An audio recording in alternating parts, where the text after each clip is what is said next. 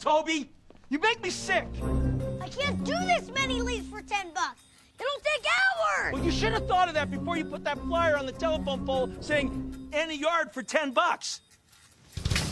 Toby, come on, let's talk. Let's talk like men, okay? Well, what's the problem? Money's the problem. Grow up, Toby! I hate you. I hate you.